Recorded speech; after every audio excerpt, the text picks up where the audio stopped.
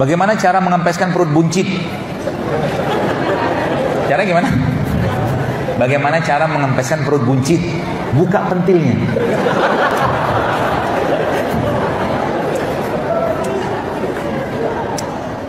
Puasa, jangan banyak makan.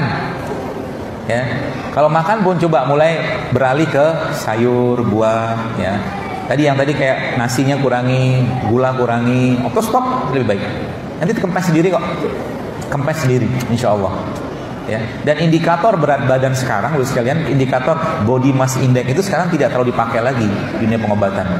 Jadi misalkan IMT itu kan ada berat badan dibagi tinggi badan kuadrat. Itu IMT itu, indeks massa tubuh. Ada skalanya 18 sampai 23 atau 25 itu normalnya. Di atas itu overweight atau obesitas. Tapi yang tidak banyak dibahas orang sekarang adalah lemak total di badannya. Itu nggak dibahas. Padahal itu kata kuncinya. Jadi bisa jadi badannya 90 kg, badannya 80 kg, tapi kadar lemak di badannya nggak banyak. Itu sehat. Bisa jadi orang itu berat badannya dengan orang yang sama 90 atau 80 juga, tapi orang yang 90 atau 80 kilo tadi itu lemak di badannya banyak. Itu bisa diukur, bisa diukur. Ya, cara cara ngukurnya gimana? Paling gampang dari lingkar pinggang.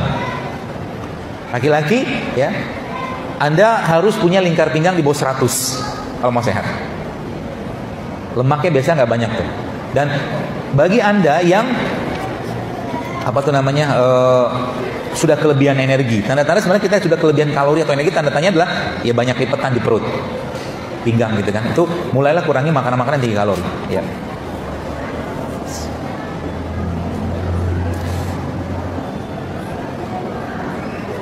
Ustaz menganjurkan untuk tidak minum sambil makan, tapi bagaimana jika disediakan menu yang berkuah? Ya enggak apa-apa. Kan minumnya kita, minumnya kita sebagian besar. Jadi gini, kalau saya ngajarin ada cara makan pindang, Kan Lampung ada pindang tuh. Saya juga suka makan pindang. Jadi makan dulu ikannya. Makan dulu ikannya. Habiskan ikannya pelan-pelan gitu kan. Habis ikannya selesai, baru Anda minum kuahnya. Kuahnya kan penuh dengan rempah kan? Makan kuahnya. Cukup sebenarnya. Jadi kalau saya makan pindang, ya biasanya saya akan makan sayur.